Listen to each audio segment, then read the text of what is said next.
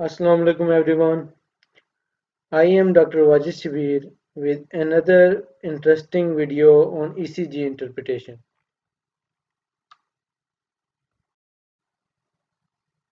This is our case for today. But before starting the discussion on this case, as always, I would like you to pause your videos, note down the findings and diagnosis with yourself so that at the end of the video you can compare your findings and the diagnosis with the discussion done in this video. So let's begin the discussion on this case. As you know that the first thing we which we look at on an ECG is rhythm. And for rhythm we look at lead 2 or rhythm strip which is a long lead at the bottom of the ECG. Here you can see this is the rhythm strip. And as I have told repeatedly in my previous videos that for rhythm to be sinus there should be an upright and prominent P wave before each QRS complex. As you can see here that before each QRS complex you can find a prominent and upright P wave. Here you can see that there is upright and prominent P wave before each QRS complex, which means that the rhythm in this case is originating from SA node. After, after the rhythm, the next step on an ECG interpretation is calculating the heart rate. For heart rate, we will select a QRS complex which lies on broad vertical line. As you can see here that uh, QRS, we have selected a QRS complex which lies on broad vertical line. And between this QRS complex and immediate next QRS complex, we will calculate the heart rate by rule of 300.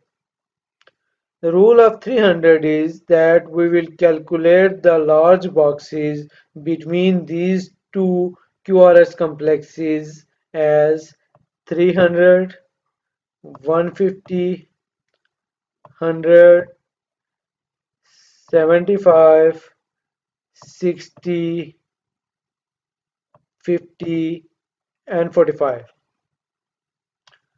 So the heart rate in this case is 45 which is less than the normal heart rate which is between 60 to 100 beats per minute. Any heart rate which is less than 60 beats per minute is bradycardia. So here we have a sinus bradycardia. After the heart rate, the next thing is axis. For axis, we look at the direction of QRS complex in lead 1 and lead AVF.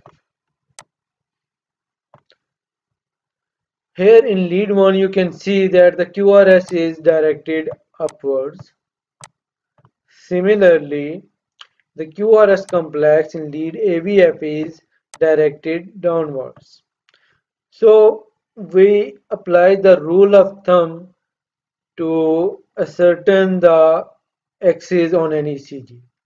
In rule of the th in rule of thumb, we place our left thumb our lead 1 and our right thumb pointing in direction of QRS complex on lead AVF.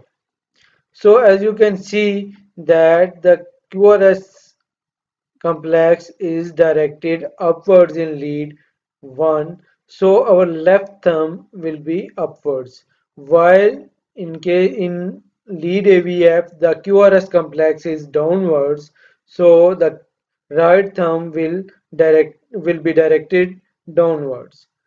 So in rule of thumb whichever thumb is pointed upwards the direction is in that side. Here we have seen that the left thumb is directed upwards. So it means that the direction of axis or net axis is towards left and this is a left axis deviation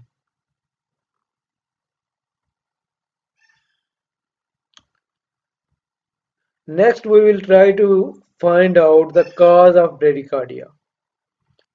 Here you can see that after T wave there is a prominence. After every P wave there is a prominence and this prominence has a same morphology as that of normal P wave.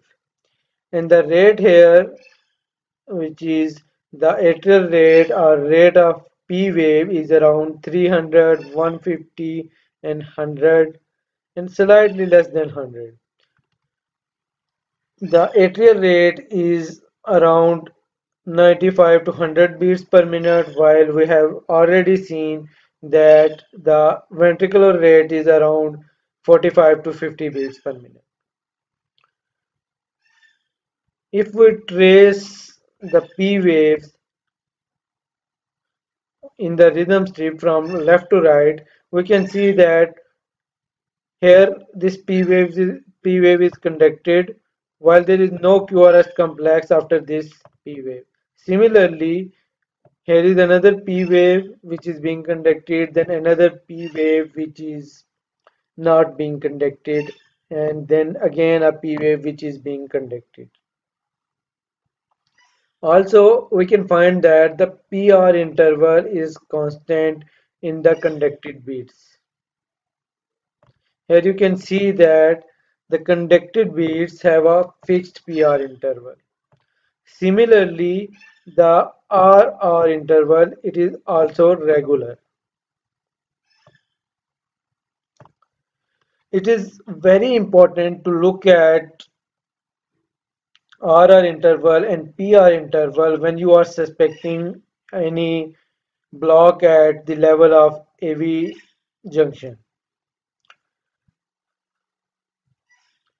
The presence of a fixed PR interval rules out Mobitz 1 and complete heart block.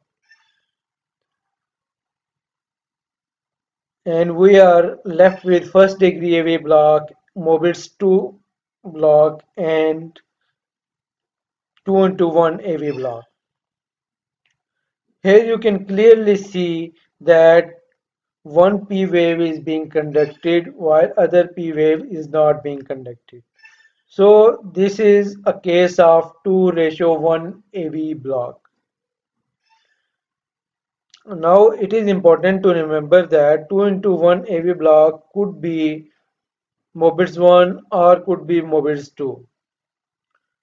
Meaning that the block in case of 2 ratio 1 AV block it can, can lie at AV node or it can be below AV node.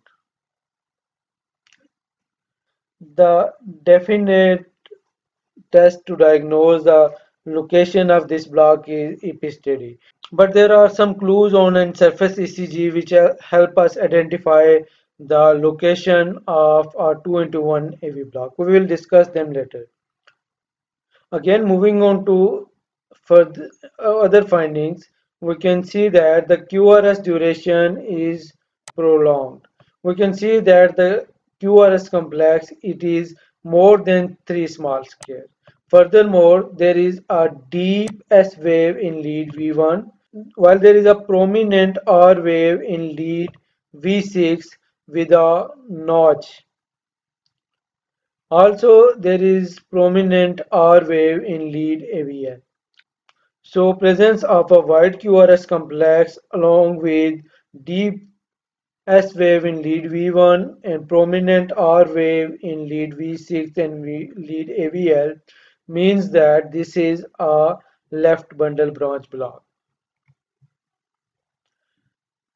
Whenever you get a 2 into 1 AV block with underlying bundle branch block, it means that possibly the 2 into 1 AV block is located below the AV node and the conduction pathway is actually diseased and pa patient might need a permanent pacemaker. However, when you find a narrow QRS complex with 2 into 1 AV block and patient is asymptomatic Then there are cer certain bedside maneuvers which help us to differentiate between the location between the nodal or infranodal location of 2 into 1 AV block. Firstly, we can give atropine or we can put the patient on a treadmill to exercise. As both of these maneuvers increase the sympathetic tone and decrease parasympathetic tone at AV node level, so a 2 into 1 AV block which is present at the level of AV node, it will result in improvement in the block because there will be one there will be decreased parasympathetic activity, increased parasympathetic activity resulting in better conduction through AV node and the block will improve to Mobitz 1 or type 1 AV block. However, if the block is below AV node, it is in uh, bundle of His or even below that. In that case, there will be increased sinus rate while the conduction through the AV junction does not improve because it is not under, under the influence of autonomic nervous system. So the block will worse from 2 ratio 1 to 3 ratio 2 or 3 ratio 4 etc.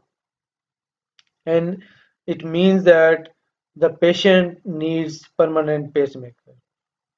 So before calling it a day, we will quickly summarize the findings on this ECG. This is a sinus bradycardia with left axis deviation and 2 into 1 AV block and left bundle branch block. So this is all for today. Hopefully you liked our video. For more videos, kindly subscribe to our channel and stay tuned. Allah Hafiz and take care till next time.